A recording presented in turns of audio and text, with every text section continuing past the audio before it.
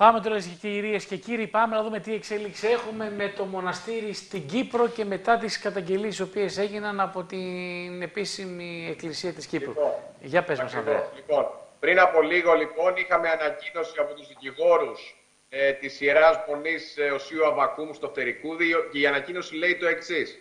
Εκ, εκ μέρους του ηγουμένου και των μοναχών της Ιεράς Μονής Οσίου Αβακούμου ανακοινώνονται τα εξής σε σχέση με δημοσιεύματα για δίθεν οικονομικά σκάνδαλα που φέρονται να τελέστηκαν από δύο ιερωμένους της Μονής. Διαψεύδονται κατηγορηματικά τα δημοσιεύματα. Ουδέμια οικονομική κακοδιαχείριση και ουδέν σκάνδαλο χαρακτηρίζει και χαρακτηρίζει τη λειτουργία της ιεράς Μονής από την ίδρυσή της το 20 έως σήμερα. Ουδέμια έγκυρη παραδοχή παραπτωμάτων έχει γίνει από τους ιερωμένους της ιεράς Μονής.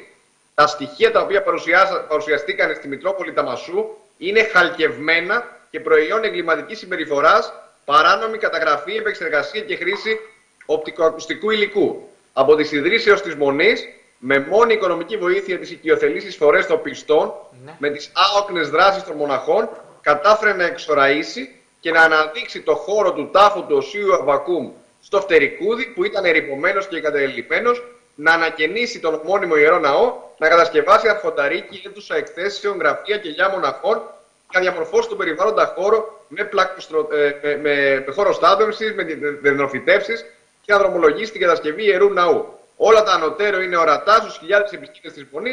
Η Μονή Οσίου Αβακούμ αποτελεί πνευματικό φάρο και τόπο γαλήνης και ψυχικής ανάτασης για τους Ορθόδοξους Χριστιανούς της Κύπρου, αναφέρουν οι δικηγόροι της Ιεράς Μονής, ένας εκ των οποίων είναι ο Νικόλαος Κουλούρης, που ήταν και καθηγητής μου στην νομική. Αυτά. Μάλιστα. Ε, δεν αναφέρουν κάτι για, το, για την εικόνα και για τον μηχανισμό; Όχι. Ε, λένε Το ότι τα περάσανε στοιχεία τα χαλκευμένα. οποία Παρακαλώ. στο Μασού ήταν χαλκευμένα. Και ότι ήταν παράνομο, παρανόμως κτηθέν το οπτικό υλικό, προφανώς εννοώντας αυτά για τα οποία κάνουν λόγο για τις σεξουαλικές συνευρέσεις των δύο μοναχών. Ότι ήταν μοντάζ δηλαδή. Εικάζω πως ναι. Μάλιστα. Αναμένουμε να δούμε τι θα δείξει ε, το πόρισμα.